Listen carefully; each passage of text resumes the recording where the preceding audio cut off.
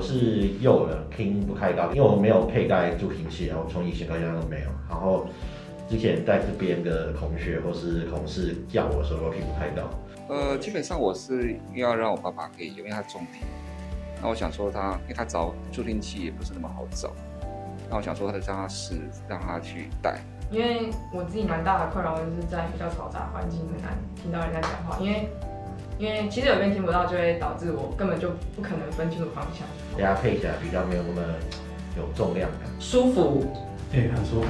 不会有我担心的那种，我的左耳总是会会被某些耳机撑到。好很多，就是比想象中还好。经验。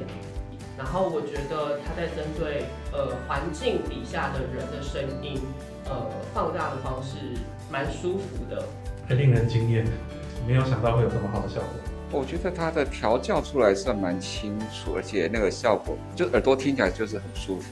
我觉得差差蛮多，没开跟有开那个整个差很多。哦，很厉害，可以把环境的噪音弄掉，但人的声音还在。呃，像我们刚才在这个环境里面有一个人气的声音，然后其实，在你不戴耳机的底下就听得到了。可是其实你戴上这个辅听器之后，呃，那个冷气的噪音就明显的，我不能讲不见，但是你会感受不到它的存在。我觉得真的还蛮不错，让我蛮期待可以买给我爸爸用。